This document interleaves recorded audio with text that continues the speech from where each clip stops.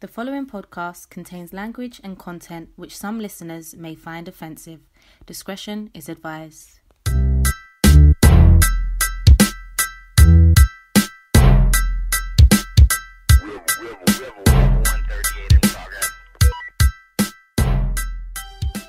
You are now locked in to Daddyless Daughters, the podcast. My name is Karina Mills. And my name is Alia Ali, and together we will be uncovering the layers of childhood trauma, relationships, sex, and men.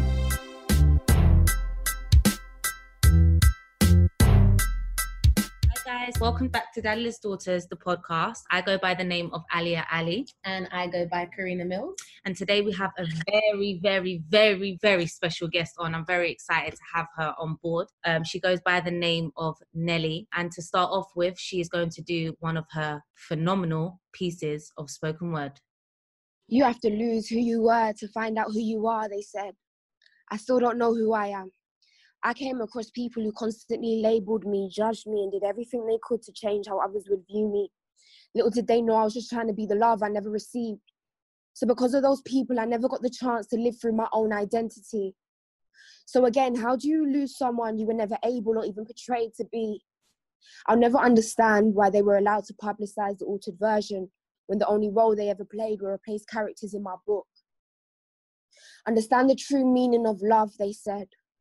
I'll never be able to explain verbally. I'll only ever have the dictionary's definition. It didn't grow within me. It's the only thing I never got to experience physically.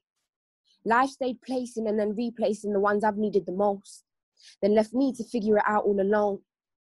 Alone. Trust me, there's not a thing you could tell me. I know too well what it feels like to be alone, to be in a room, let alone a world full of people and still feel alone. I started to hate the thought of life. I never got to enjoy it.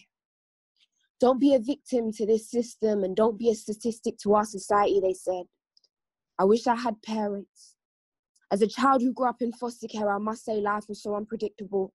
I never knew what was around that corner or what to expect. And everything was done in order to cover their back. My life became their secret. But being so young and naive, I always imagined the grass to be greener on the other side. Now, don't ask me what I'm referring to when I say the other side, because I don't know. I just wanted to escape everything I was going through at that time. I've been running, and I'm still running. I grew up in a system that never listened, and I was so scared to face society because I knew at some point I wouldn't be classed as their priority. And this pandemic has proven that to be true. Foster care for me felt like a punishment, something that was meant to last only 10 minutes on the naughty step, but in actual fact became a wound that's never healed. And being a care leaver feels like I'm doing a life sentence for a crime I didn't commit. Feels like I was thrown into the deep end of life with no swimming lessons, no life vest, and I just want to get out of that pool now. I hope this pain doesn't last long. I've always had this feeling that I won't last long, but at some point I feel like I deserve kids so I can pass on. The pain of my past numbed me, so I don't cry no more. The care system killed me mentally, so I can't die no more. Life broke my wings, so I can't fly no more. Deep down, I was made to feel as though I was never enough for myself. My actions said, educate me, love on me, be there for me, and never leave me. But their words belittled me, manipulated me, and misled me. Still till this day, I'm paying for it. From one door to another is how I've spent the last 16 plus years of my life. So I don't know a thing about stability. I went from foster family to foster family residential and back again with so many questions as to why this was all happening to me. It felt as if God handpicked me. So I'm not too good with people. You see, I can let you go in a heartbeat because I was let go in a heartbeat by the same woman who let my heart beat. Don't let your depression define you, they said. How when that shit grows from inside you. You see, life taught me the biggest battle you'll ever have to fight is the one against yourself. I've been fighting and I'm still fighting. Be patient, they said. When time is something I have no control over, and when the only promise life has ever made me is death. Shanelle, do what God called you to do before it's too late, they said. I've been waiting on that call. I've got a feeling it's too late. So, someone, please tell God I'm trying to find purpose in my pain. You can't pray for someone who doesn't pray for themselves, they said. I've prayed and thanked the Most High all my life. At times, it felt like it, I was speaking to myself. Remove anything in life that you ever have to question, they said. So at one point, I'm not going to lie, I removed God because there were too many unanswered questions. It just felt like a one sided connection. They said you can't live life trying to explain the pain of your past. Going through it first will be the only way they'll ever understand you. I think I get it now. I've been left with memories and I can't put a face to them anymore. There's a certain scent that will take me way back to 2004. There's a certain time of the year I'll sit behind a closed door, drop a few tears, ask God what I'm doing this for. I've been trying to forgive them, but I can't forgive myself. I didn't want to lose them, so instead I lost myself. Wow. Girl, you've definitely found purpose in that pain. Hmm. And I can feel it. And oh my God, it's too much. It's too much. I feel very blessed to have met you and thank you for sharing that with us. Wow, how, thank you for having me. How you feel? Um, I feel like a weight's been lifted off my shoulder. Like honestly, I feel I don't know, I do feel like I'm on a journey to finding purpose in my pain. Mm. So yeah. So tell us a bit more about where that pain comes from. Obviously you've painted a, a very vivid picture for us. Um, but now when you come on the show, it's like your voice is so soft. But then when you step into that beast, into that expression, it's like two different people. It's crazy. But um, so I was taken into care. Well, I, was, I say taken. I was left by my mother um, at the age of two. I was left in a derelict building. Me and my brother. Um, I remember the day like it was yesterday. Um, we was playing hide, not hide and seek. It was peekaboo. And I mm. remember one time I covered my eyes and I, I said boo, and I never saw that lady again. I could never play that game. It still haunts me to this day.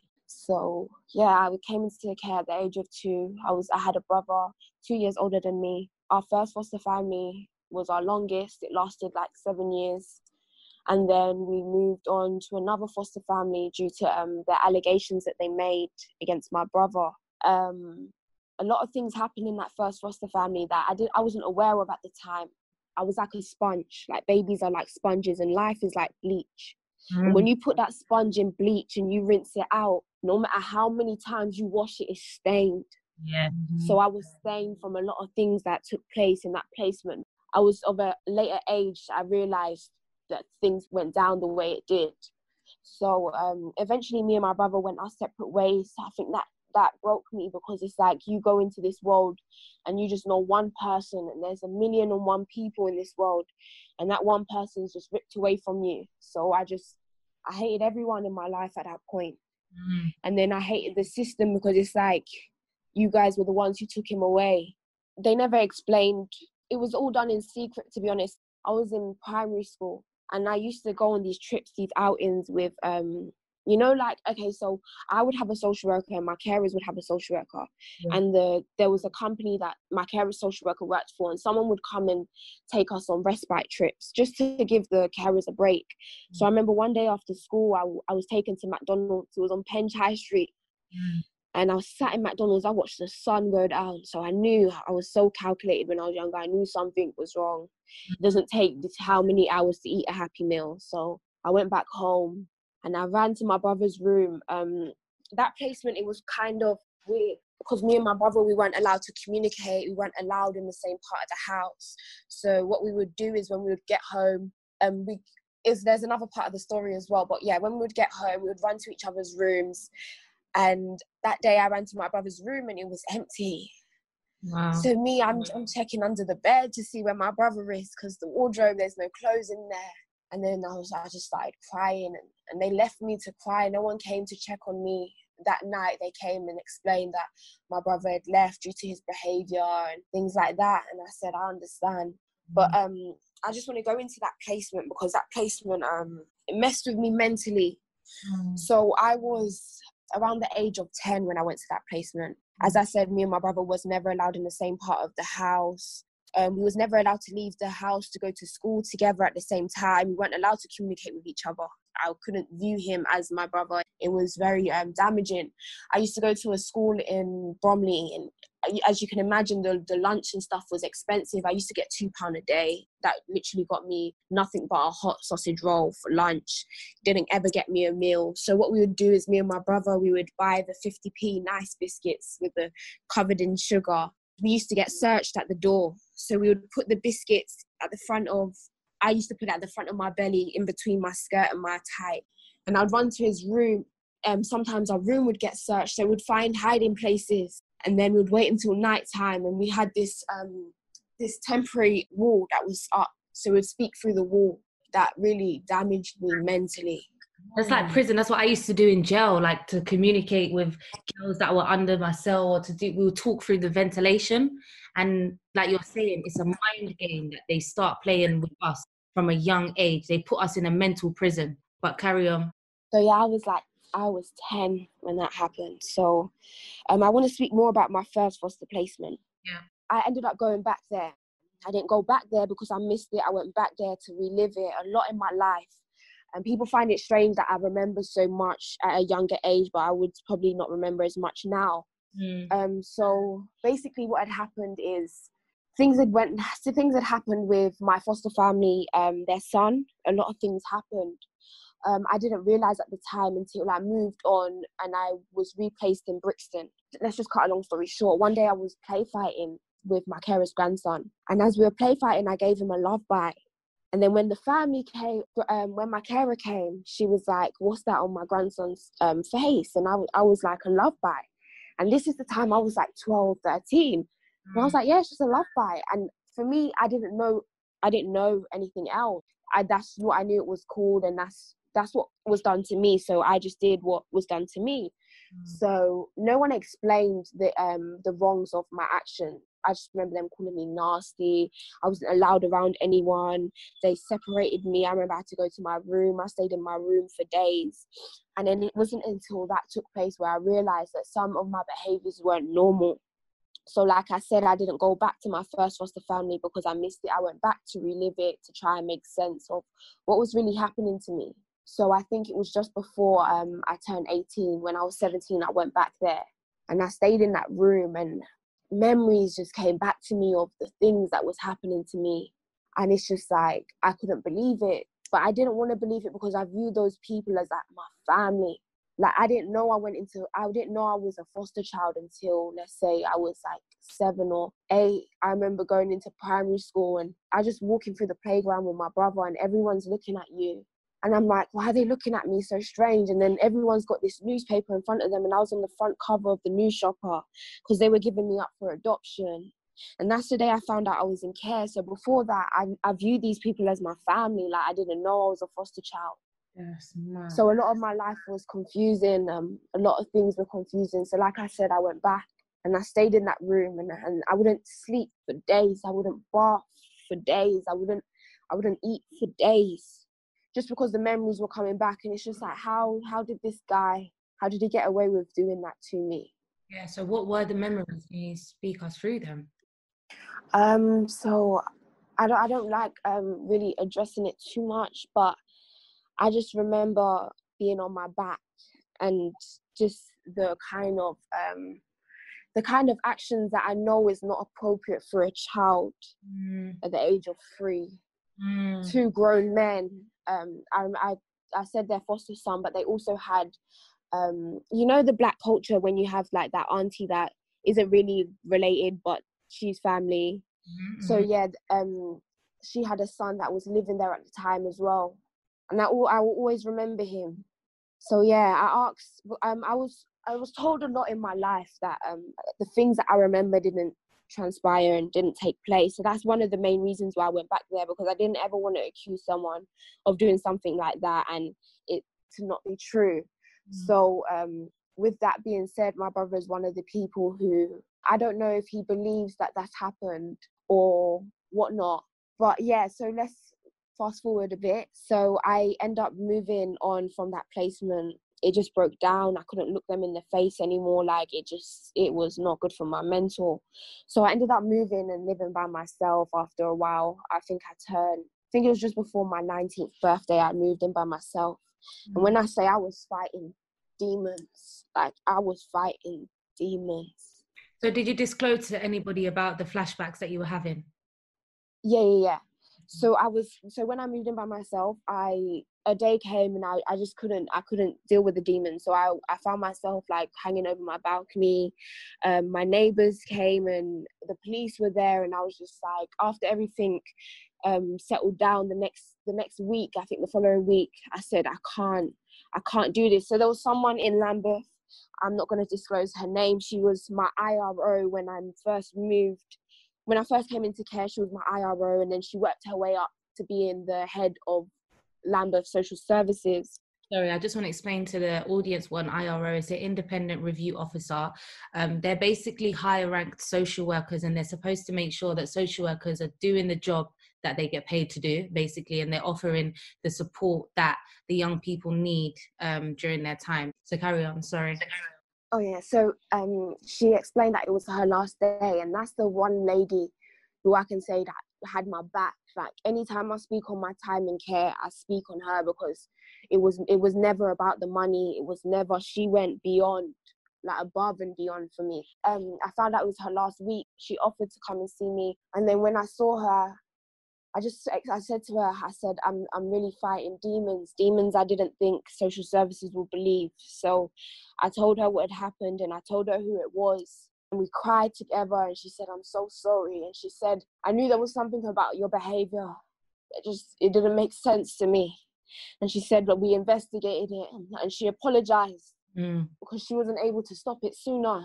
And I said, it's not your fault um, but to cut a long story short, that man is actually under investigation um, 10 years on for something he's done more recently. So that was the, all the confirmation I need that really transpired. Mm. And I wasn't just, I, it's just because when you've been told for so long, yeah. like for instance, me and my brother's relationship broke down. Like I don't speak to him till this day because after I've told him that this has happened and Lambeth have notified him of this is what's happened, he still had the cheek to go and be around these people. And it's just like for me it's like if if my sibling told me that this is what happened to me it's like i could never see myself.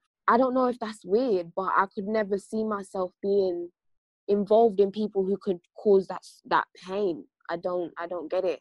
And we talk about this like as daddyless daughters the layers of loss and like grieving people that are still alive and levels of betrayal that we feel um, that that's just traumatic within itself. So to, to manage that trauma as well as sexual abuse as well as trying to even piece the pieces of your life together. Mm-hmm. this is this is too much weight for any adolescent to have to handle it by themselves. And i'm so grateful to know that at least there was that one iro that mm-hmm. that one professional who, who showed you what empathy looks like.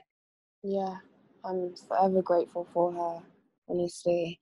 But yeah, my time in care, it was just, I don't know, it, it scarred me because there's so much that I could get into, but it's just like, there's too much. It's too much. It's, and it was like, it was a never ending spiral that was really getting out of control. And it's just like, who's gonna, who's gonna control this situation?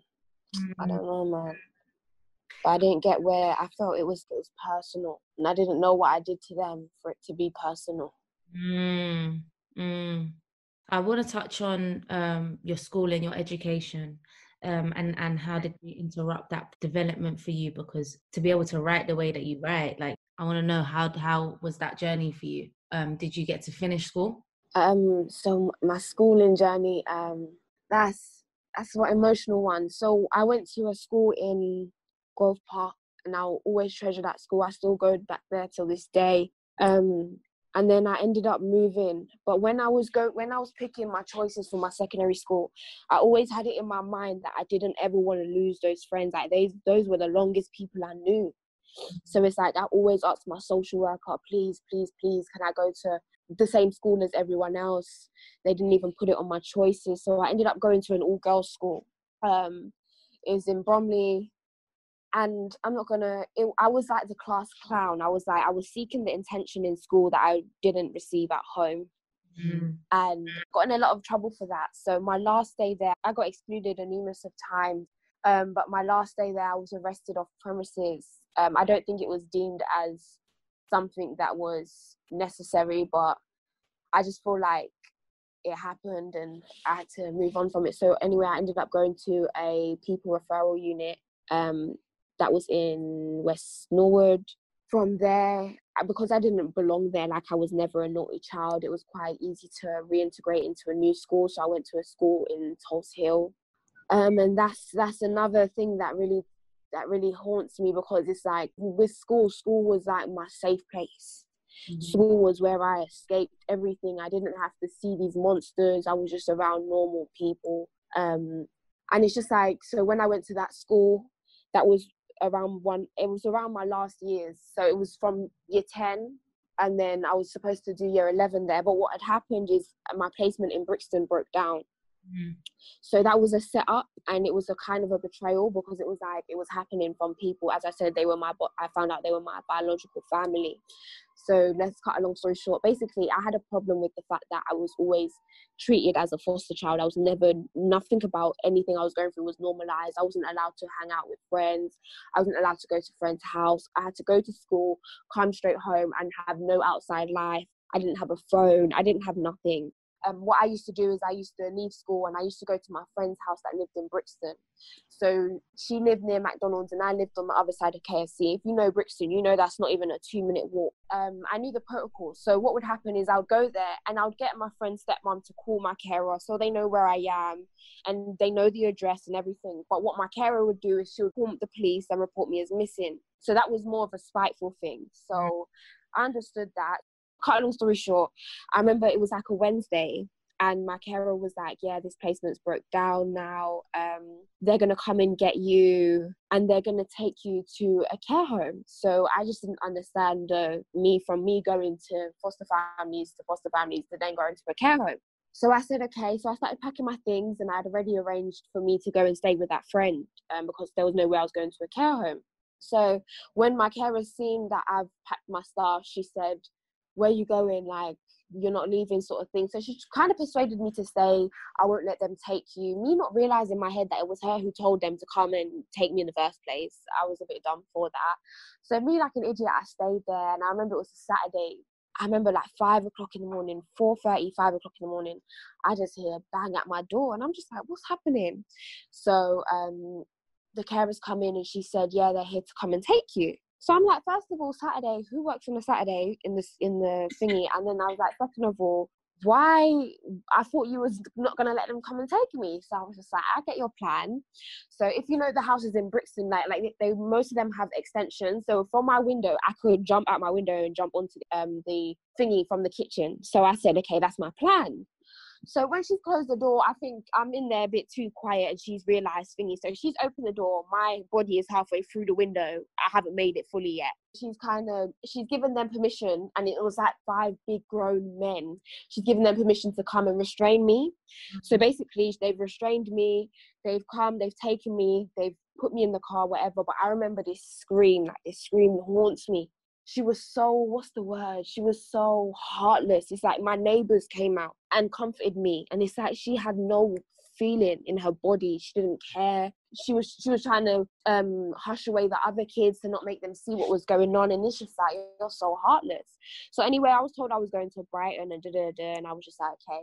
So i'm in the car and I was sleeping for some time, and I was just like, I know Brighton, and I know Brighton is not this far away. Like, I was in the car for a good three plus hours.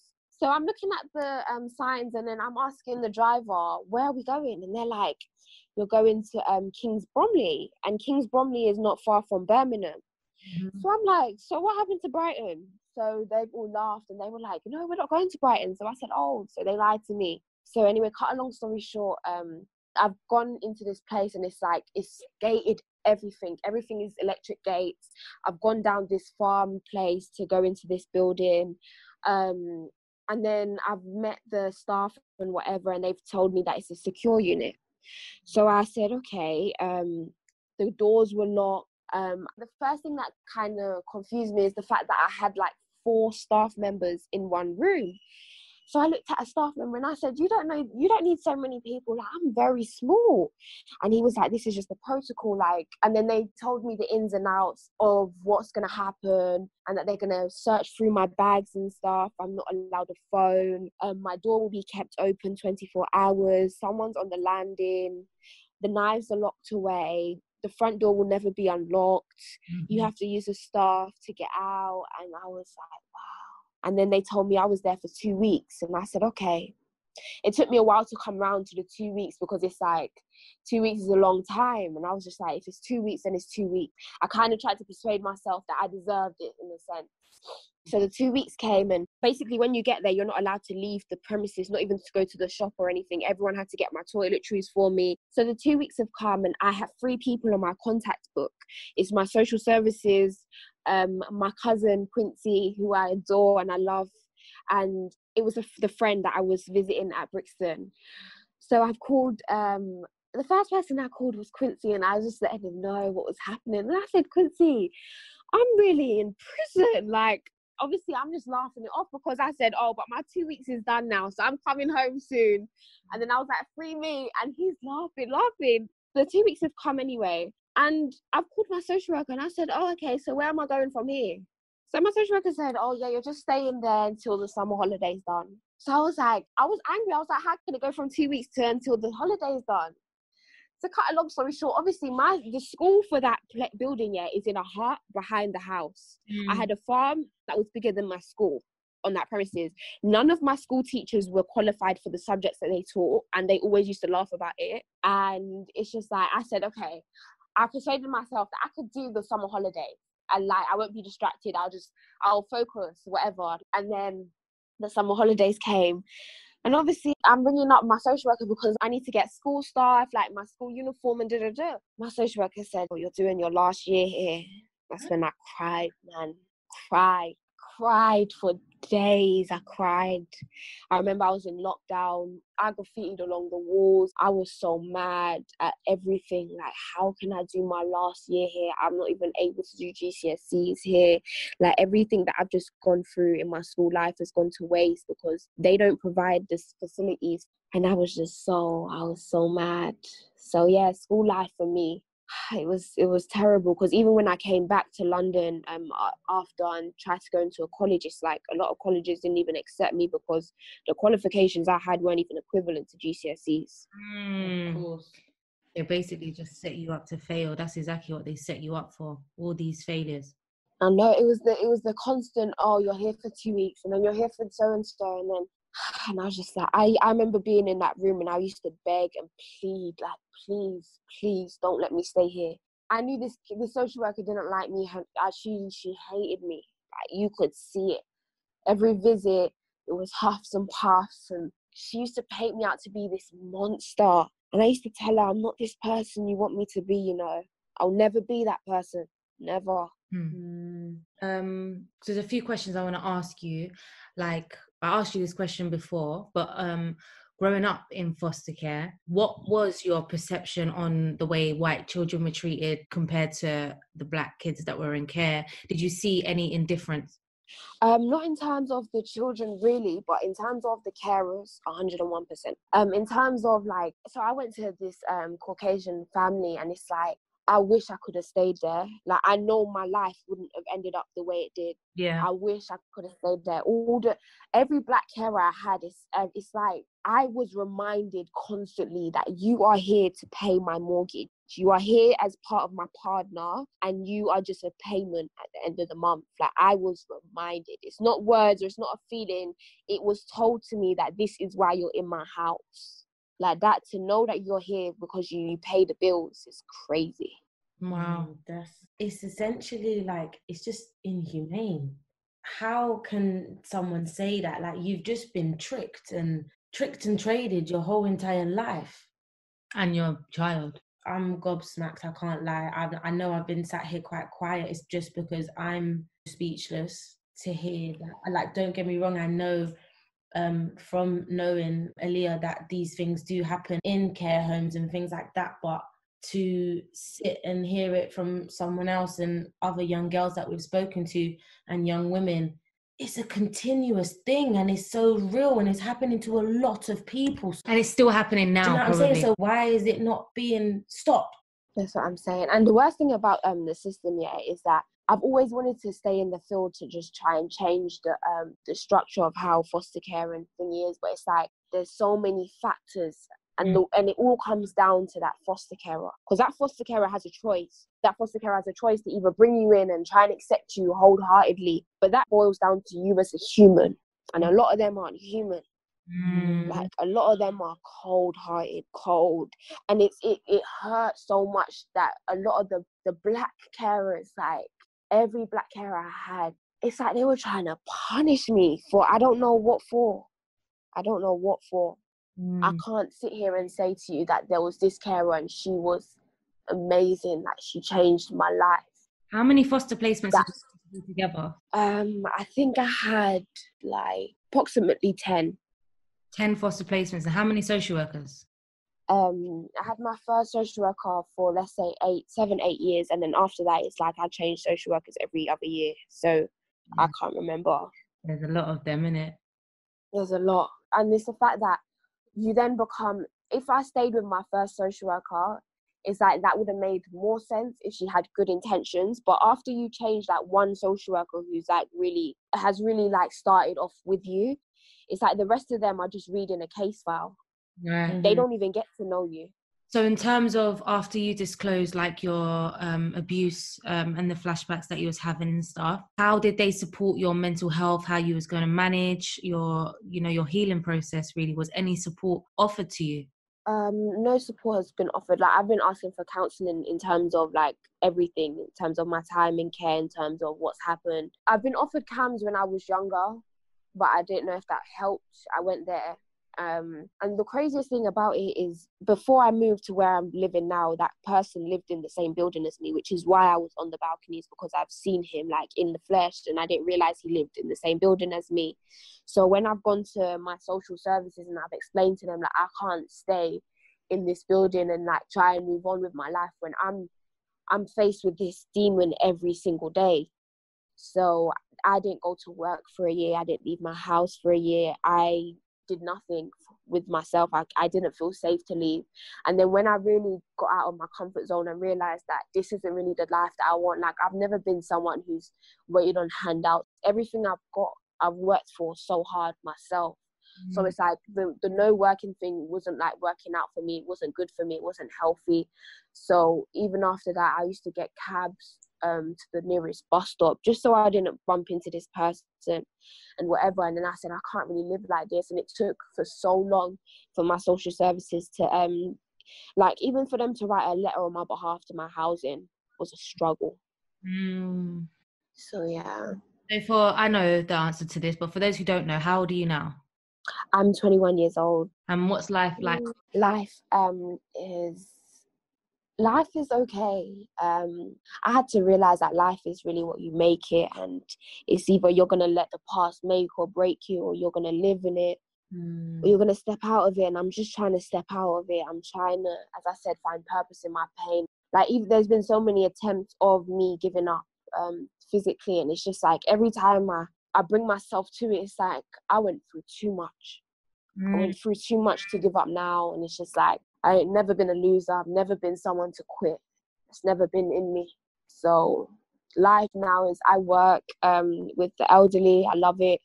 Mhm. Um, I just got my start date for a civil service job that I'll be doing in August. Um, I just Sorry. but-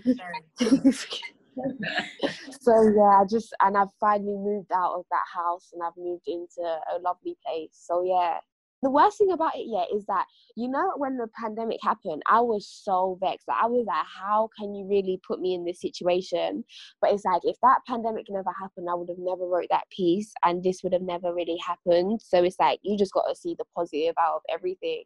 Exactly. It's going to take time, you know, and like somebody who's a bit ahead of you in your journey um, and has a similar story is like, there is no end date. Do you get what I'm saying? The greatest power that we have is to be able to live in that state of pain, tap in and out of it, and use it as a creative expression of ours.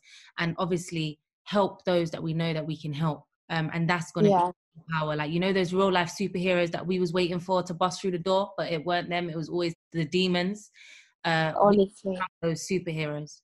I can't. I can't wait to see what um life has planned for me. I can't wait to see what has planned for you too. So if you could, if you had any advice for a daddyless daughter who's at a place where you was um in their in their journey, what would be your advice? Um, my advice would be, for what it's worth, it's never too late. You can change or you can stay the same. There's no rules to this game. You can make the best or the worst of it. I just hope you make the best of it. I hope you see things that startle you. I hope you feel things you've never felt before. I hope you meet people who have a different point of view. I hope you're living a life that you're proud of. And if not, I hope you have the courage to start all over again. I mm-hmm. just want to remind you that you didn't come this far to only come this far. I pray you transform into the best version of yourself and understand the power of the tongue. I speak nothing but life over you. And that is a beautiful way to end that. Thank you so much for coming on and thank you so much for choosing Daddyless Daughters to help you to just tell your story. And I hope you feel like some kind of, even if it's small, or some kind of small weight has been lifted through telling your story. And I know that there's going to be loads of young girls and women out there that's going to hear it Mm. and they're going to relate and they're going to be thankful that you've told it and they will understand like wow there's women out there like me Yeah. Um, and I hope they come forward as well because this is Yeah. it's about. Like we, we want to really build this community and harness in on it. So like I really thank you for um our journey as well and Mhm. coming along this with us. And we're still quite early in it. So hopefully, you know, you can watch the magic unfold. Unfold, I will. Thank you so much for having me and listening to my story. Um, I was a bit nervous, but you guys made me feel comfortable. So I just appreciate that. We So, got yeah. Don't worry about it. Thank you for listening to Daddyless Daughters, the podcast. Don't forget to follow us on Insta at daddyless underscore daughters. And for more information on how you can get involved, then please visit the website at www.daddylessdaughters.co.uk. If you've been affected by any of the topics raised in today's podcast, then please call one of the following helplines. For Samaritans, call double one six one two three. For Barnardo's, call 0800 11 11. Or alternatively, call Mind on 0800 123 3393. Thank you.